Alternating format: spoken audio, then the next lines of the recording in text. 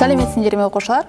Бүгін біз ғаламдық проблемалардың өткен сабақтағы талқылағаннан басқа қалған проблемаларды қарастыратын боламыз. Демек олар бізде энергетика және шикізат проблемалары сонымен қатар дамушы елдердегі ғаламдық проблемалар. Сабағымыздың мақсаты энергетикалық және шикізат проблемалары дамушы елдердегі демографиялық және азық түлік проблемаларын талдап шешу жолдарын ұсынатын боламыз.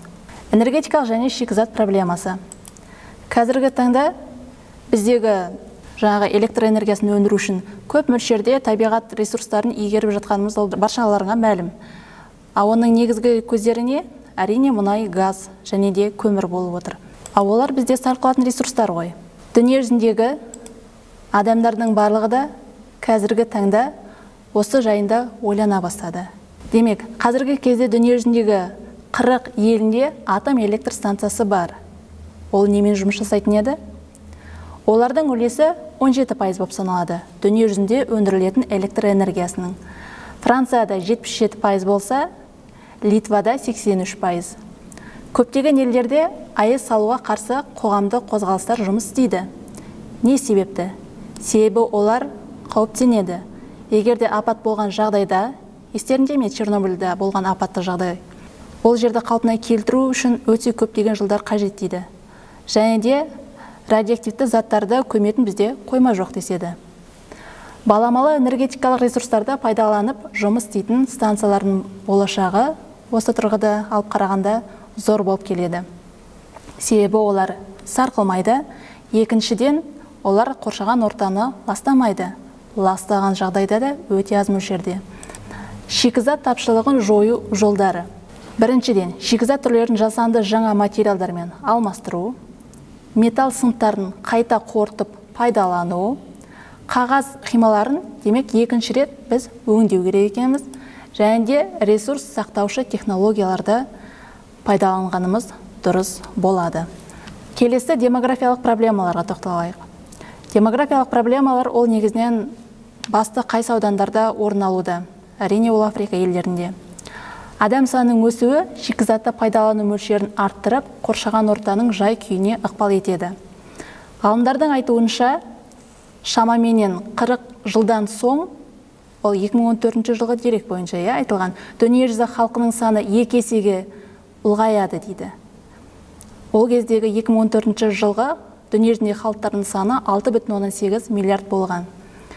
Дамушы елдер үшін тіптен аз уақыт керек. Мысалы африка халқы үшін ол небәрі 29 жыл ал латын америкасы халқы үшін 39 оман халқына үшін 18 жыл чад халқына 20 жылдан соң екі еселенсе еуропа үшін ол әрине өте алшақ. 500 жыл.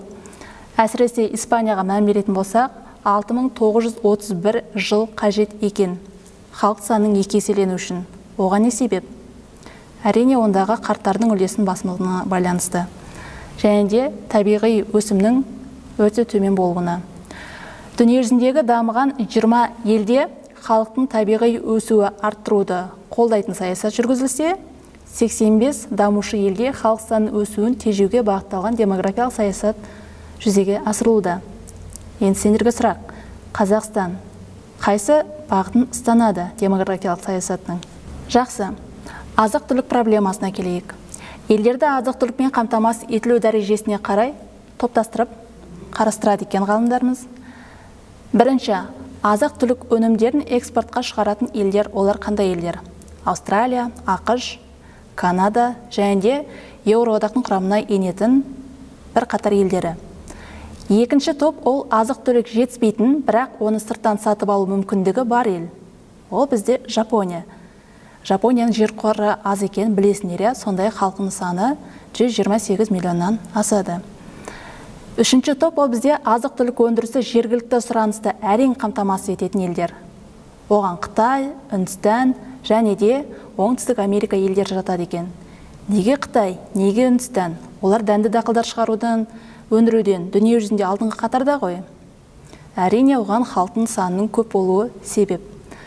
Төртінші азық түлік жетіспейтін бірақ өзін өзі қамтамасыз ету үшін су және жер ресурстарды қарқынды игеріп жатқан елдер. Олар қандай елдер? Египет индонезия пәкістан және де филиппин екен бесінші топ ол жан басына шаққанда азық түлікпен қамтамасыз етілу жағдайы төмен елдер. Африканың сахарадан оңтүстікке қарай орналасқан дамушы елдері. Оның ішінде чад нигерия конго анголаны айтсақ болады. Нигерия ол африкадағы халқы ең көп мемлекет болып саналады иә.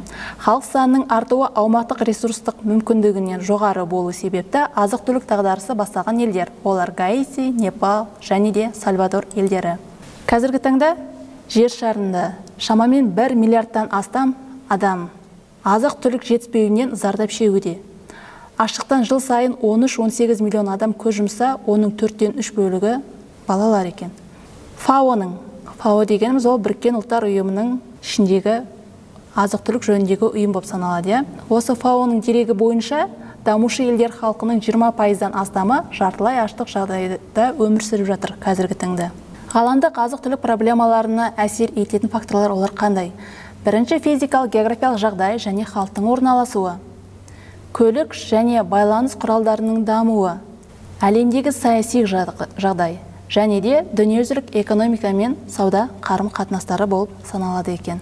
Азық түлік проблемасын шешудің қандай жолдарын ұсынуға болады? Азық түлік проблемасын шешудің басты жолы ол ауыл шаруашылығының өнімділігін арттыру. Ол үшін не істеу керек?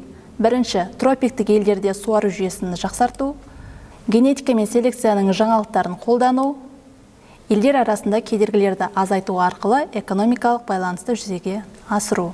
Мінекей бүгінгі біздің сабағымыз осы. Барлығы түсінікті болды деген ойдамын.